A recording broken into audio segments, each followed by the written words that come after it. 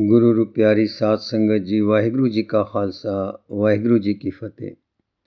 ਭਾਈ ਸਾਹਿਬ, ਭਾਈ ਵੀਰ ਸਿੰਘ ਜੀ ਦੀਆਂ ਨਿਕਟਵਰਤੀਆਂ ਵੱਲੋਂ ਕੁਝ ਹੜਬੀਤੀਆਂ ਵਿੱਚੋਂ ਅੱਜ ਦਾ ਜਿਹੜਾ ਨੁਕਤਾ ਹੈ, ਉਹ ਹੈ ਨਿਮਰਤਾ।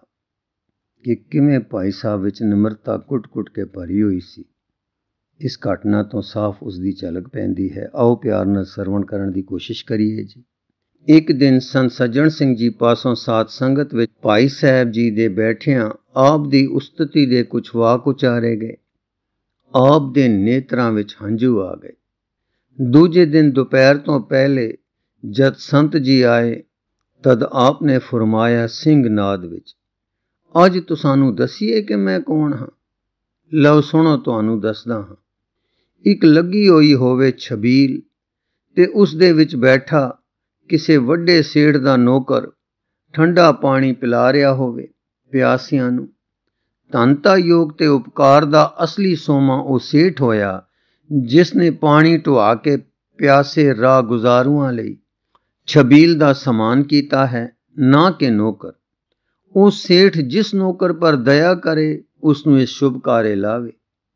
ਜਗਤ ਵਿੱਚ ਸਹਿਬ ਸ੍ਰੀ ਗੁਰੂ ਨਾਨਕ ਦੇਵ ਜੀ ਆਏ, ਉਹਨਾਂ ਨੇ ਸੰਸਾਰ ਦਾ ਉਧਾਰ ਕੀਤਾ। ਆਪ ਨੇ ਤੇ ਅੱਗੋਂ ਨੌ ਗੁਰੂ ਸਹਿਬਾਨ ਨੇ ਬਾਣੀ ਰਚੀ ਕੌਤਕ ਕੀਤੇ। ਜੇ ਕਿਸੇ ਪਾਸੋਂ ਆਪ ਨੇ ਆਪਣੇ ਕੀਤੇ ਕੌਤਕ ਲਿਖਵਾਏ, ਜਾਂ ਆਪਣੀ ਉਚਾਰੀ ਬਾਣੀ ਦਾ ਅਰਥ ਬੋਧ ਕਰਾਇਆ, ਤਦ ਉਹਦੀ ਹਸਤੀ ਤਾਂ ਛਬੀਲ ਦੇ ਪਾਣੀ ਪਿਲਾਉਣ ਵਾਲੇ ਨੌਕਰ ਦੀ ਹੈ ਨਾ।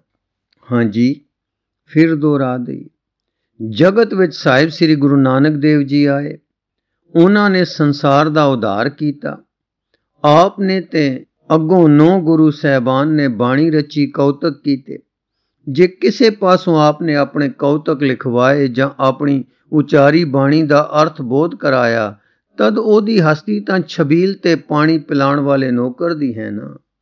ਇਹ ਨਿਮਰਤਾ, ਇਹ ਗਰੀਬੀ, ਇਹ ਯਥਾਰਥਕ ਤੇ ਤਾਰਤਕ ਪ੍ਰਗਟਾ ਵੇਖ ਕੇ ਸਾਰੇ ਰੋਮਾਂਚ ਹੋ ਗਏ ਤੇ ਤਨ ਸਿੱਖੀ।